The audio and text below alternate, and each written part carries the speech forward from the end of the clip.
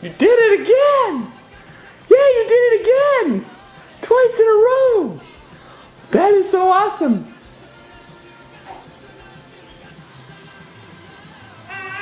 Ah, yeah!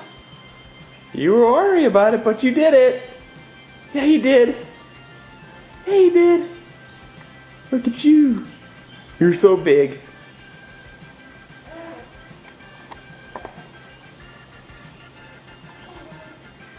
That was.